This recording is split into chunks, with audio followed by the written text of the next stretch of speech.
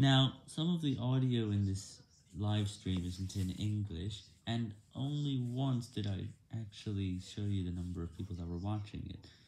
By the way, I noticed there are now square corners instead of rounded corners to the subtitles that are in English.